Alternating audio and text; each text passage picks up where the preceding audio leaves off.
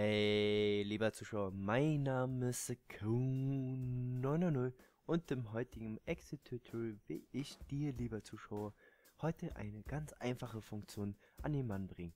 Diese dient dazu, wie in meinem Beispielvideo jetzt, dass wir hier die Anzahl der Buchstaben, die wir hier in der Straße zum Beispiel verwendet haben, ganz einfach ermitteln können, indem wir die Funktion erstmal aufrufen und zwar Gleichheitszeichen und sagen die Länge.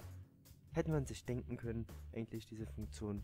Dann brauchen wir nur noch Klammer auf und natürlich will jetzt äh, die Funktion wissen, welche Spalte oder besser gesagt Kästchen er überprüfen soll.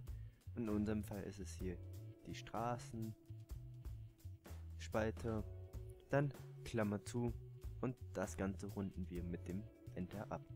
Siehe da, wir verwenden hier 15 Buchstaben und wenn wir jetzt herausfinden wollen, welches hier der längste oder besser die längste Anzahl von Buchstaben verwendet wurden, können wir das Ganze hier übertragen, indem wir die ganzen Funktionen herunterziehen und siehe da, die Dornenstraße 23 ist die längste Buchstabenanzahl. Natürlich kann man es mit ein x-beliebigen Wörtern hier benutzen. Mehr gibt es zu dieser Funktion nicht zu erzählen. Verabschiede mich deswegen hier auch von euch oder besser gesagt von dir, lieber Zuschauer, und schalte das nächste Mal ein bei einer weiteren Folge von mir, The Cone 900.